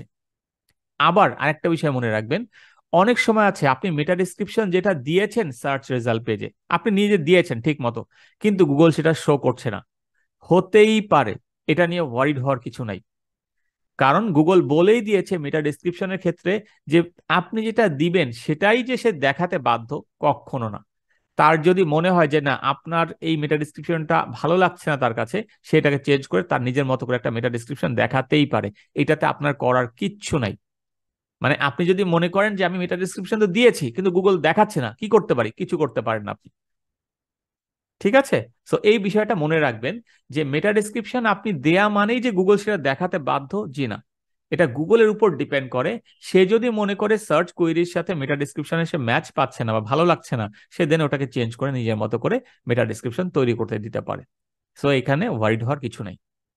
তাহলে মেটা ডিসক্রিপশনের ক্ষেত্রে আমরা যে বিষয়গুলি জানলাম, এগুলি যদি আমরা একটু শর্ট সামারি করি। সর্বপ্রথম মেটা ডিসক্রিপশন হচ্ছে আপনার ওই নির্দিষ্ট পেজের মূল বা সারমর্ম, যেটা সার্চ রেজাল্ট পেজে আমরা দেখাই সামারি যেটা বলি আমরা। আচ্ছা মেটা ডিসক্রিপশন যখন লিখব, একশো পঞ্চাশ ক্যারেক্টারের মধ্যে লেখার চেষ্টা করব। একশো পঞ্চাশ ক্যারেক্টারের মধ্যে। মেটা ডিসক্রিপশন যখন লিখছি, আমরা অবশ্যই চেষ্টা করব আমার প্রধান কিওয়ার্ডগুলিকে মেটা ডিসক্রিপশনের মধ্যে ব্যবহার করার জন্য বা প্রাইমারি কিওয়ার্ড চাইলে দিয়ে একটা সেকেন্ডারি কিওয়ার্ড ব্যবহার করতে পারবেন, যেহেতু দুই লাইনের লেখা। আচ্ছা মেটা ডিসক্রিপশন আমরা যখন তৈরি করব, অবশ্যই মনে রাখতে হবে, আমার পেজের মধ্যে যে বিষয় নিয়ে আলোচনা করছি মেটা ডিসক্রিপশনে যেন সেই বিষয় থাকে। এটা খুব ইম্পর্টেন্ট যেটা কিনা আমরা বলছি টপিক রিলেভেন্ট হতে হবে। ওই যে আপনি দেখাবেন একটা, ভিতরে পাঠিয়ে দেবেন আরেক জিনিস, এটা যেন না হয়। তো মেটা ডিসক্রিপশন যখন আপনি লিখছেন, সেই যে টপিকটা ওটা যেন পেজের টপিকের সাথে মিল থাকে। আচ্ছা মেটা ডিসক্রিপশন আমরা যেটা দিব, যেটা কোডের ব্যাকএন্ডে থাকে, ওইটা গুগল যে শো করবে, তার কোনো গ্যারান্টি নেই। অর্থাৎ গুগল চাইলে তার নিজের ইচ্ছা মতো মেটা ডিসক্রিপশন সে দেখাতে পারে, এক্ষেত্রে আপনার বা আমার করার কিছু নাই। এবং ফাইনালি মেটা ডিসক্রিপশন ডিরেক্ট কোনো র্যাঙ্ক সিগন্যাল ক্যারি করে না, যেটা কিনা টাইটেল করে। আমরা বলেছিলাম টাইটেলের ক্ষেত্রে title direct rank signal carry করে গুগলের কিন্তু মেটা ডিসক্রিপশন এটা করে না। এবং মেটা ডিসক্রিপশন অবশ্যই আপনার প্রতিটা পেজের জন্য ইউনিক হতে হবে। আলাদা আলাদা মেটা ডিসক্রিপশন হবে প্রতিটা পেজের জন্য। সো এই হচ্ছে গিয়ে ওভারঅল মেটা ডেসক্রিপশন লেখার নিয়ম। ওকে কোনো প্রশ্ন আছে?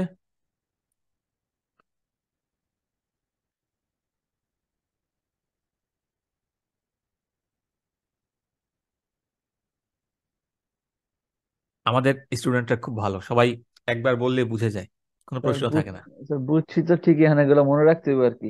এটাই সমস্যাটা। মনে রাখতে হবে বিষয়টা না মুখস্থ করতে হবে এক কথা। মুখস্থ করতে হবে এটাই। হ্যাঁ এটাকে মুখস্থ করে ফেলবেন। কারণ মুখস্থ করতে করতে যেমন দেখেন এখন আমি যখন আপনাদেরকে বলছি দেখেন একটা জিনিস খেয়াল করছেন আমি কিন্তু ভুলে যাচ্ছি না তাই না? আমার কিন্তু মুখস্থ হয়ে গেছে। কেন?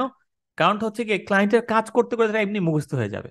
সো আপনারা তো এখনও ক্লায়েন্টের কাজ শুরু করেননি।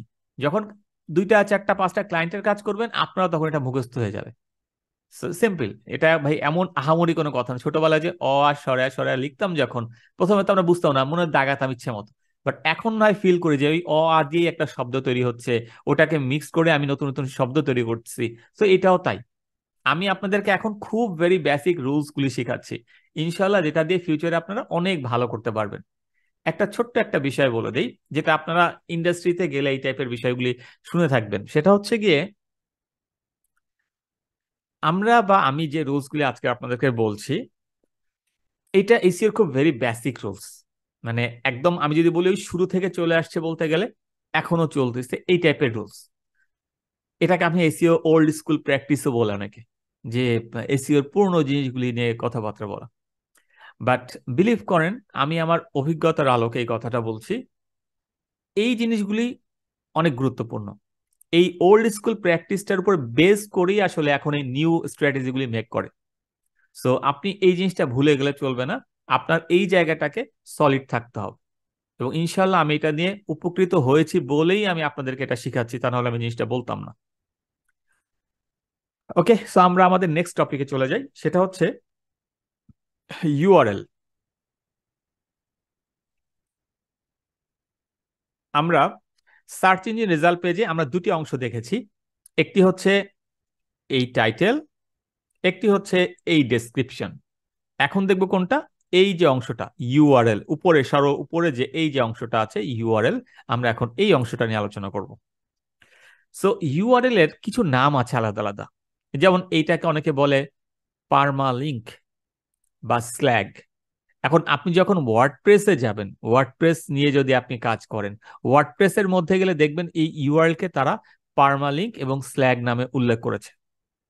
আচ্ছা আবার অনেক জায়গায় এই ইউআরএল কেই বলা হয় ওয়েব লিঙ্ক সো এটাতে ওয়ারিড হওয়ার কিছু নাই ইউআরএল সোজা কথা ইউআরএল এখন যেমন মনে করেন আমি একটা পেজে গেলাম, এই যে, এখন আমি যে পেজটাতে আসছি, এটা কি? একটা সার্ভিস পেজ ধরেন। এই যে সার্ভিস পেজটাতে আসছি, এই পেজের ইউআরএল কোনটা? এই যে ভাই ব্রাউজারের বারে যেটা এই যে দেখাচ্ছে, এইটাকে বলা হচ্ছে এই পেজের ইউআরএল ঠিক আছে?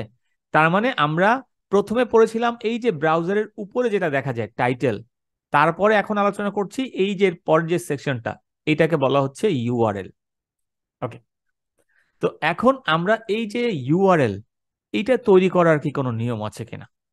জি হ্যাঁ ইউআরএল তৈরি করার নিয়ম আছে। তো আমরা এখন এই ইউআরএল তৈরি করার নিয়ম সম্পর্কে জানব। ইউআরএল তৈরি করার প্রথম নিয়ম বা একদম আমি যদি বলি সর্ব মানে সর্বপ্রথম এটাই মনে রাখতে হবে ইউআরএল ক্ষেত্রে। ইউআরএল ছোট হওয়া ভালো। আমি আবারও বলছি ইউআরএল ছোট হওয়া ভালো, শর্ট মানে ছোট ইউআরএল তৈরি করা ভালো। লং ইউআরএল আসলে দেখতে দৃষ্টিকটু লাগে। এটা হচ্ছে প্রথম বিষয়। যেমন আমি একটা জিনিস একটু দেখাই আপনাদেরকে। আমার এই সার্চ রেজাল্ট পেজে দেখতে পাচ্ছেন এখন স্ক্রিনটা এই জায়গাটাতে এক নাম্বার, দুই নাম্বার, তিন নাম্বার, এই যে তিনটা রেজাল্ট আছে, এই তিনটা রেজাল্টের ইউআরএল সেকশনটা একটু খেয়াল করেন। আমি আপনাদের বোঝার স্বার্থে আমি একটু আপনাদেরকে ড্র করে দেখাই, তাহলে আপনারা হয়তো ইজিতে বুঝতে পারবেন। একটু খেয়াল করেন, এটা হচ্ছে আমার এক নাম্বার রেজাল্ট এটা হচ্ছে আমার দুই নাম্বার রেজাল্ট এটা হচ্ছে আমার তিন নাম্বার রেজাল্ট এখন আমি যদি বলি ইউআরএল অংশ কোনটা, এইটা হচ্ছে ইউআরএল এইটা হচ্ছে ইউআরএল এইটা হচ্ছে ইউআরএল এইবার আপনারা একটু খেয়াল করেন তো, এই ইউআরএলটা এই ইউআরএলটা এবং এই ইউআরএলটা এই তিনটা ইউআরএল এর মধ্যে আপনি কি বুঝতে পারতেছেন এইটা এবং এইটা? এক এবং তিন এই দুটা ইউআরএল কি লেখা আছে? এটা কি বুঝতে পারতেছেন আপনি? না স্যার। কারণ কি লাস্টে আমার এখানে ডট ডট চলে আসছে যে ইলেপসিস চলে আসছে তাই না? ইলেপসিস চলে আসছে তার মানে ইউআরএলটা বড় হয়ে গেছে বিধায় কি আসছে? ইলেপসিস চলে আসছে। কিন্তু আপনি যদি এই ইউআরএলটা দেখেন আপনি বুঝতে পারছেন না যে কোথায় যাচ্ছেন? ডেস্টিনেশনটা কোথায় আপনার? এইটা হচ্ছে একটা বড় ফ্যাক্ট মানে ইউজারের চোখে ভালো লাগার বিষয় ট্রাস্ট বাড়ার বিষয়। আমি যদি এইভাবে করে বলি, আমি সার্চ করেছি এসিও ট্রেনিং ইন বিডি আমি দেখলাম যে আচ্ছা টাইটেলের মধ্যে এসিও ট্রেনিং পেয়েছি, ও আচ্ছা এখানেও এসিও ট্রেনিং শব্দটা পেয়েছি ও আচ্ছা ইউআরএল এর মধ্যেও তো দেখছি এসিও ট্রেনিং শব্দটা আছে, তার মানে আমি ঠিক জায়গায় যাচ্ছি। কিন্তু আমি যখন এই রেজাল্টগুলি দেখব, আমি হয়তো দেখছি যে আচ্ছা ইউআরএল এর মধ্যে কি আছে আমি তো দেখতে পাচ্ছি না, বা এখানে কি আছে আমি তো দেখতে পাচ্ছি না। তখন দেখা যাবে আমার ওই কনফিউশনটা কাজ করে। এইটা খুব বড় কোনো র্যাঙ্কিং ইস্যু বিষয়টা এরকম না। বাট ছোট ছোট বিষয়কেও যদি আমরা প্রায়োরিটি দিই, এটা আমাদের জন্য ভালো, জেনে রাখা উচিত। তো এই জন্য বলা ইউআরএল তৈরির প্রথম শর্তই হচ্ছে ইউআরএলটাকে ছোট তৈরি করা। দুই নম্বর শর্ত ইউআরএল অবশ্যই কিওয়ার্ড ভিত্তিক হতে হবে। এবার এইখানে একটা ঝামেলা তৈরি হবে। এক এবং দুই নম্বর শর্ত কনফ্লিক্ট করবে এবার। কেন কনফ্লিক্ট করবে? আসলে আমি রিজনটা বলি। প্রথম শর্ত ছিল ইউআরএল ছোট করব, দ্বিতীয় শর্ত হচ্ছে ইউআরএল এর মধ্যে কিওয়ার্ড মেইন কিওয়ার্ড দিতে হবে বা প্রাইমারি কিওয়ার্ড দিতে হবে। এখন ধরেন আমার প্রাইমারি কিওয়ার্ড হচ্ছে এসিও ট্রেনিং ইন বাংলাদেশ ভালোভাবে বুঝেন। আমার primary keyword SEO training in Bangladesh এখন এসিও ট্রেনিং ইন বাংলাদেশ এইটা যখনই আমি ইউআরএল বলছি, আমার ইউআরএলটাকে বড় হয়ে যাচ্ছে। তো আমি কি করলাম? আমি ছোট করার জন্য আমি লিখে দিলাম জাস্ট এসিও ট্রেনিং প্রাইমারি কিওয়ার্ডের একটা অংশ লিখলাম, পুরোটা কিন্তু লিখিনি। এখন এই জায়গায় আপনি বলতে পারেন, তাহলে এটা কি আমার জন্য ভালো প্র্যাকটিস হলো না খারাপ প্র্যাকটিস হলো? আমি বলব দুটেই মানে আপনি এটাকে খারাপও বলতে পারবেন না, আবার যে একদম বেস্ট প্র্যাকটিস হয়েছে এটাও বলতে পারছেন না। কেন বলতে পারছি না? রিজনটা হচ্ছে আমি এখানে প্রথমত কিওয়ার্ডটা ব্রেক করছি। এসিও ট্রেনিং ইন বাংলাদেশ ছিল। চোখের দৃষ্টিতে খারাপ লাগবে, এই কারণে আমি এটাকে ব্রেক করে কি করলাম? শুধু এসিও ট্রেনিং লিখে দিয়েছি। হ্যাঁ তবে এইটা এখন বর্তমানে একটা মোটামুটি ভালো প্র্যাকটিসই বলতে পারেন। কারণটা হচ্ছে গুগল যেহেতু লোকাল সার্চ ইন্টেনশনটাকে বুঝে। সো যখন কেউ সার্চ করবে এসিও ট্রেনিং লিখে বাংলাদেশের মধ্যে, সে আলটিমেটলি আপনাকেই বেশি প্রায়োরিটি দিবে, যেহেতু আপনি বাংলাদেশের মধ্যে ট্রেনিং দেন। সে তখন বাইরের কাউকে নিয়ে আসবে না। সো এই ক্ষেত্রে আপনি এসিও ট্রেনিং লিখলেও এটা আপনার জন্য ক্ষতির কোনো কারণ হওয়ার সম্ভাবনা আমি ব্যক্তিগতভাবে দেখি না। ঠিক আছে? সো এই হচ্ছে গিয়ে তাহলে আমরা ইউআরএল এর ক্ষেত্রে দ্বিতীয় রুলসটা জানলাম। তার মানে প্রথম রুলস হচ্ছে ইউআরএলটাকে ছোট করা, দ্বিতীয় রুলস হচ্ছে ইউআরএল এর মধ্যে কিওয়ার্ড প্লেস করা। তিন নম্বর রুলস হচ্ছে ইউআরএল যখন লিখবেন, কখনোই ইউআরএল এর মধ্যে নাম্বার ব্যবহার করবেন না। এটা ভালো প্র্যাকটিস না। আমরা এর আগের বার টাইটেল যখন শিখেছিলাম কিছুক্ষণ আগে, সেখানে আমরা আলো বলেছিলাম টাইটেলের মধ্যে নাম্বার ব্যবহার করা বেস্ট প্র্যাকটিস বা ভালো প্র্যাকটিসের মধ্যে একটা। কিন্তু ইউআরএল এর ক্ষেত্রে কি বললাম? একেবারেই ভালো প্র্যাকটিস না। যেমন, আমি যদি লিখি যে ঠিক আছে এসিও ট্রেনিং দু হাজার তেইশ টাইটেল দিয়েছি। ইউআরএলও দিলাম এসিও ট্রেনিং দু হাজার তেইশ। ভাই দু হাজার চব্বিশ সালে গিয়ে কি আমি ইউআরএলটা আবার চেঞ্জ করব? তখন তো আমার জন্য ডেঞ্জারাস একটা জিনিস হবে। কারণ ইউআরএল বারবার পাল্টায় না। এখন আপনি বলতে পারেন, কেন পাল্টায় না? সিম্পল অ্যান্সারটা দিই। ধরেন আপনি আমার অফিসে আসছেন। আপনি আমার অফিসের লোকেশন একটা জায়গায় আসছেন আগে, দুইবার ভিজিট করছেন, চারবার ভিজিট করছেন। আপনি জানেন আমার অফিসের লোকেশনটা কোথায়। এই যে লোকেশনটা কোথায়, এটা কি বলা হয় ইউআরএল অর্থাৎ ক্লিক করলে আপনি কোথায় যাবেন? ডেস্টিনেশনটা কোথায়? তো আমি কি করলাম? এর পরের বার যেদিন আপনি আসছেন, ঠিকই আপনি আমার অফিস লোকেশনে আসছেন বাট এসে দেখলেন দরজায় লেখা, বড় করে অন্য অফিসের নাম। তখন আপনি কি হবে? আপনার তখন খারাপ লাগবে যে, ইস, আমি এত কষ্ট করে আসলাম অফিস তো এখানেই নাই, চলে গেছে। কারণ কোথায় গেছে? আপনাকে আমি বলে গেছি। বলে যায়নি। তখন আপনি খুঁজে পাবেন কোথায়? যদি আমার কোনো কন্ট্যাক্ট থাকে, খুঁজবেন, তা না হলে আপনি ওটা দেখাল খুঁজেই পাবেন না আপনি। তখন কি হচ্ছে? ওই পেজটা আর নাই।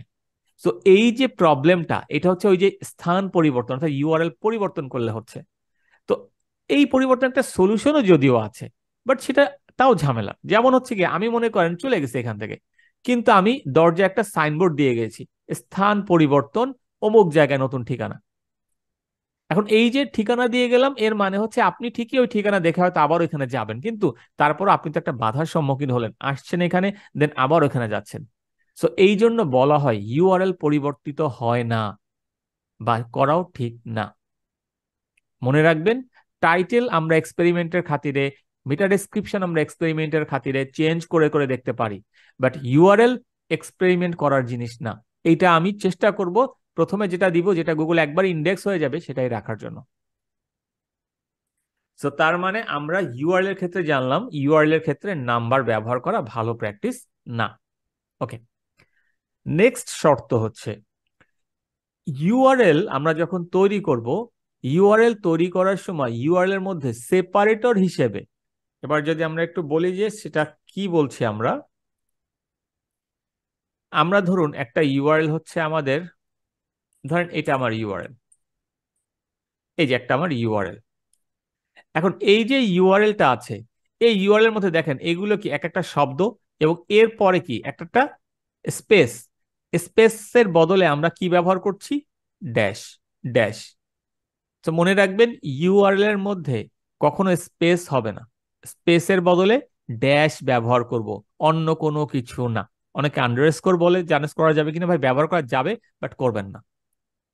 তার মানে ইউআরএল এর ভিতরে আমরা শুধুমাত্র স্পেসের বদলে ড্যাশ ব্যবহার করব। এরপরে শর্ত হচ্ছে ইউআরএল যখন তৈরি করবেন আপনি, তৈরি করার সময় ইউআরএল এর এই যে লেখাটা, সব স্মল লেটারে তৈরি করবেন। এইখানে কোনো কথা নেই। প্রথমটা বড় হাতের, দ্বিতীয়টা বড় হাতের, সব বড় হাতের। কিচ্ছু না, সব স্মল লেটার এখন যদি বলেন ক্যাপিটাল লেটার দিলে কি নিবে না? ভাই, আমি নেয়ার কথা আপনাকে শেখাচ্ছি না। আমি শেখাচ্ছি আপনাকে বেস্ট প্র্যাকটিসটা কি হওয়া উচিত। সো আমি এটা বলছি ইউআরএল যখন লিখবেন, সব স্মল লেটার লিখবেন। এখানে কোনো ক্যাপিটাল লেটার ব্যবহার করবেন না। ঠিক আছে? আচ্ছা। লাস্ট রুলস যেটা, সেটা হচ্ছে, অনেক সময় আমরা অনেক লং ইউআরএল দেখি। এই লং ইউআরএল সাধারণত শুধুমাত্র ই কমার্স সাইটের জন্যই প্রযোজ্য। যেমন ধরুন আমার ওয়েবসাইট হচ্ছে এবিসি ডট কম ধরেন এরপরে স্ল্যাশ ক্যাটাগরি ল্যাপটপ এরপরে আবার স্ল্যাশ ব্র্যান্ড ধরেন এইচপি এরপরে আবার স্ল্যাশ একটা মডেল এইভাবে যদি হয়, যেমন আমি যদি দেখাই আপনাকে, মনে করেন W W W dot domain dot com slash ধরেন ক্যাটাগরি হচ্ছে ল্যাপটপ ধরেন আমি দিলাম এটা। দেন হচ্ছে slash HP laptop then slash মনে করেন মনে করেন থার্টিন্থ জেনারেশন ল্যাপটপ এরপরে ধরেন আপনার ল্যাপটপগুলির এখানে একটা ইউআরএল সো এই যে লম্বা ইউআরএল স্ট্রাকচার অনেক বেশি স্ল্যাশ স্ল্যাশ স্ল্যাশ আসছে। এইটা শুধুমাত্র ই কমার্সের জন্যই ভালো এই ইউআরএল স্ট্রাকচারটা কিন্তু নর্মাল সার্ভিস ভিত্তিক বা ব্লক টাইপের ওয়েবসাইটের জন্য একেবারেই এই টাইপের ইউআরএল গ্রহণযোগ্য না। ব্লক সাইট বিষয়ের জন্য একদম স্ট্রেট ফরওয়ার্ড এই টাইপের ইউআরএল দরকার। ডোমেইন নাম শেষ তারপরে ভাই তোমার কি ডাইরেক্ট রুটে চলে যাবে। এইখানে কোনো এরকম কিছু না। এখন যদি বলেন, কেন এইসব জায়গায় এরকম কিছু না? কেন এটার ক্ষেত্রে প্রযোজ্য? আপনি সিম্পল ই কমার্সটা চিন্তা করেন। একটা স্টোরে গেছেন। একটা স্টোরে যাওয়ার পরে সেখানে কি? সুন্দরভাবে ক্যাটাগরি যেমন সুপার শপগুলিতে কি হয়? ওরা কি সিরিয়াল ভাবে রাখে না সুন্দর করে? যে আচ্ছা এই সেকশনটা এই সেকশনটা হচ্ছে ক্রকারিজের এই সেকশনটা এই সেকশনটা হচ্ছে মনে করেন কুকিজ সেকশন এই সেকশনটা এই সেকশনটা হচ্ছে মনে করেন ভেজিটেবল সেকশন যেখানে গেলে আপনি ওই সেকশনের সকল জিনিস পাচ্ছেন। এই জন্য মূলত ই কমার্সে অনেক প্রোডাক্ট থাকে। তাদেরকে সুন্দর করে সাজানোর জন্য মূলত এই টেকনিকটাকে অ্যাপ্লাই করা হয়। কিন্তু ছোটখাটো সার্ভিস ব্লগ সাইট এদের জন্য এইসব দরকার হয় না। তাহলে ইউআরএল লেখার আমি যদি আপনাদেরকে রুলস গুলি আবারও বলি ইউআরএল লেখার ক্ষেত্রে আমাদের রুলস এর মধ্যে প্রথম রুলস হচ্ছে ইউআরএলটা ছোট হতে হবে। দ্বিতীয় হচ্ছে ইউআরএল এর মধ্যে আমার প্রাইমারি কিওয়ার্ড থাকতে হবে। তৃতীয়ত হচ্ছে ইউআরএলটার মধ্যে আমি লেখার সময় কোনো স্পেস দিব না, ড্যাশ ব্যবহার করব। চতুর্থ রুলস হচ্ছে ইউআরএল সব স্মল লেটার লিখব। পঞ্চম রুলস হচ্ছে ইউআরএল যখন আমরা লিখব ইউআরএলটাকে নাম্বার ব্যবহার করা যাবে না। সংখ্যা বা নাম্বার ইউআরএল এর ক্ষেত্রে অ্যাভয়েড করব, এটা ব্যবহার করার দরকার নেই। আর লং ইউআরএল শুধুমাত্র আমরা ই কমার্সের ক্ষেত্রেই দেখি, অধিক স্ল্যাশ ইউআরএল বাট অন্যান্য কোনো ক্ষেত্রে এই ইউআরএল এর ব্যবহার প্রয়োজন নেই। এখন আসেন যে আমরা টাইটেল ইউআরএল ডেসক্রিপশন এই তিনটাকে যদি প্রায়োরিটি লিস্ট অনুযায়ী সাজাই, যে কোনটা প্রায়োরিটি কত বেশি? সর্বপ্রথম টাইটেল টাইটেলের ভ্যালু সব থেকে বেশি। এরপরে ইউআরএল এরপরে মেটা ডেসক্রিপশন ভ্যালুর দিক থেকে, ঠিক আছে? টাইটেলের ভ্যালু র্যাঙ্কিং এর জন্য অনেক বেশি, তারপরে ইউআরএল তারপরে মেটা ডেসক্রিপশন এটা হচ্ছে আপনি এইভাবে যদি চিন্তা করেন। তো এখন এই যে আমরা রুলসগুলি জানলাম, টাইটেল, ইউআরএল এবং মেটা ডেসক্রিপশন এবং এগুলো কোথায় আছে? সার্চ ইঞ্জিন রেজাল্ট পেজে সব আমি দেখালাম অংশগুলি, কোনটা কোন অংশ, কীভাবে হয়। সো আশা করি এই জিনিসটা আপনারা মুখস্থ করে ফেলবেন। এবং আমরা তাহলে এই জিনিসটা যখন প্র্যাকটিক্যাল করব, তখন আপনাদেরকে মনে করাতে হবে না, যদি আপনার মুখস্থ থাকে যে, ঠিক আছে, আমার রুলসগুলো মনে আছে বা মুখস্থ করে ফেলছি আমি। তখন আপনি জাস্ট ওটা দেখলেই মনে হোক জাস্ট ম্যাচ করবেন। আচ্ছা টাইটেলের ক্ষেত্রে এই দশটা রুলস ছিল, ঠিক আছে, একটু মিলায় দেখি তো ঠিক আছে কিনা এটা। ইউআর এর ক্ষেত্রে পাঁচটা রুলস ছিল। দেখি তো মিলায় ঠিক আছে কিনা। এটা করলেই তখন আপনার জন্য এনাফ তো আজকের আমরা তাহলে আমাদের অন পেজ অপটিমাইজেশনের প্রথম সেশনের এই টপিকগুলো নিয়ে আলোচনা করলাম। আশা করি আপনারা সবাই বুঝতে পারছেন। ইনশাআল্লাহ পরবর্তী সেশনে আবার আমরা বাকি যে টপিকগুলি আছে সেগুলি রুলস সম্পর্কে জানব। এবং এই সকল রুলস জানার পরে আমরা প্র্যাকটিক্যালে যাব। পুরো একটা ওয়ার্ডপ্রেস ওয়েবসাইট দিয়ে আমরা এটা দেখব চেক করে করে আমরা দেখব যে এই যে টাইটেল ডেসক্রিপশন ইউআরএল যা বললাম, এগুলি প্রত্যেকটা জিনিস আমি দেখাবো কীভাবে ইমপ্লিমেন্ট করতে হয় ওয়েবসাইটের ভিতরে।